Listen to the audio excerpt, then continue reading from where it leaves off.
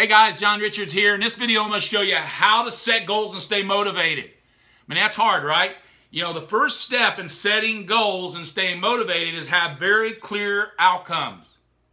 If you don't know exactly what you want to achieve, how do you expect to get there? How do you expect to stay motivated towards something that's vague? You know, one of the things I used to do is I want to make over or I make around. You know, no, it's got to be extremely specific. So make sure it's specific.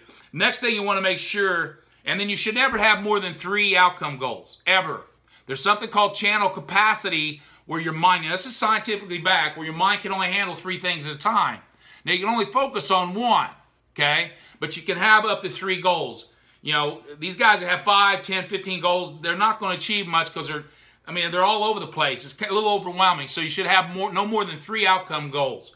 Okay, the next thing you want to do is you want to have three process goals that you're going to do every single day or at the most weekly for each of those three goals that you have.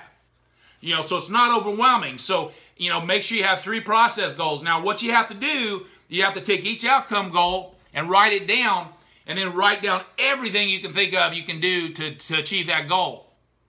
Now you're going to use the 80-20 rule and you're going to decide which three are going to be the ones that actually, that's going to give you the most likelihood of achieving the goal. That's going to be the real needle movers. You know, you know, 1% of what you do actually equals 52% of your results. You know, less than 4% of what you do equals 64% of your results. So really think about this.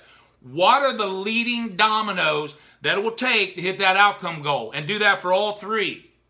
Just take, for instance, I have a health goal, okay? I want to lose a certain amount of weight by the end of the year. My three process goals are I'm going to work out with weights six days a week. Okay, I'm going to do 30 minutes of cardio on the elliptical or the stairs six days a week. Being specific, very clear. I don't do I don't do the treadmill, don't do the bike. All right, and I'm going to eat clean seven days a week, and I have a sheet that shows me what eating clean looks like. So I don't have any, hey, you know, that's close to clean. No, I, I, I eat clean. So be very clear about that. And then a biggie for me is why am I doing this? You know, why am I doing this? You have to have a reason why or a purpose, you know, that you want to achieve that goal. And if you don't, it's going to be hard to achieve something and stay motivated. So how to set goals and stay motivated. Okay, there's three things. Make sure you have clear outcomes. No more than three goals for the year. No more than three goals for the next 12 weeks or 90 days or however you set that. And then three process goals for each outcome. Okay? And make sure those are the needle movers. And then write down why do you want that. So I have my five-year goals. Actually, I said five-year goals. I have the three five-year goals I want to achieve. I have the three purposes. Why do I want to get that? Usually three three pieces of, you know, why do I want that? Then I have one the three for the year, okay?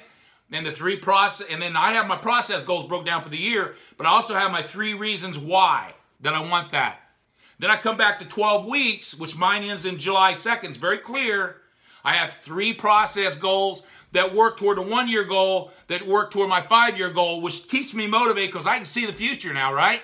That's a key. You got to be able to see the future. You know, you don't want to work just for the day. And then you got to know why you're doing this. And if you achieve those process goals, and that's what you focus on, focus on the process, detach from the outcome. Know it's there, you can achieve your process goals because it's all about focusing on the process.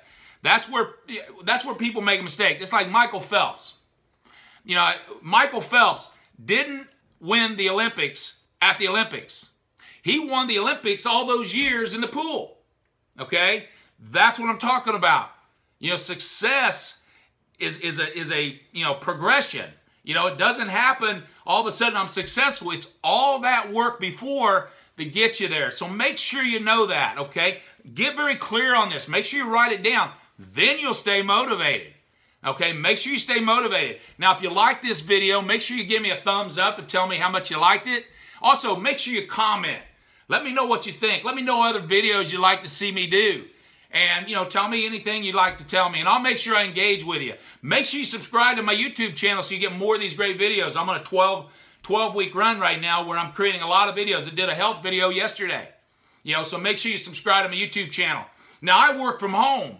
You know, so I can schedule all around this stuff and stay very focused on my goals. So if you want to learn how I how I've been able to generate or create uh, job quitting income in the next 30 to 90 days, make sure you click the link above in the video, or also you can click the link below in the description. That's going to take you to a page where you just put in a name and email address, and I'll email you over a free download exactly how you can how you can create job quitting income, the secret of job quitting income in the next 30 to 90 days.